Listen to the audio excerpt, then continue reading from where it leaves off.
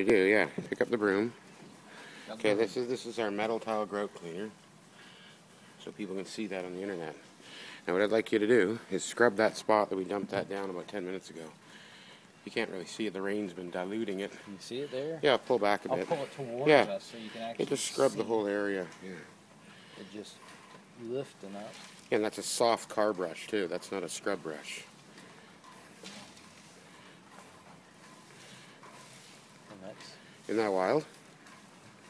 It just punches right through. I mean, that's a year of growing algae on the balcony. yeah, actually the there's so much algae slime in the in the stuff that I just mopped up.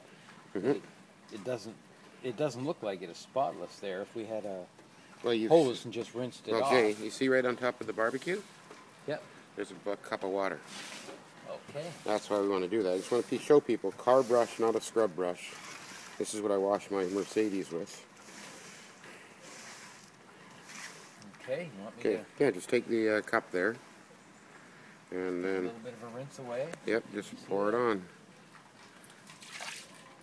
There you go. That's how you remove algae. It's still flocculating while you can see the water. Just push the rinse water away so you can see it better.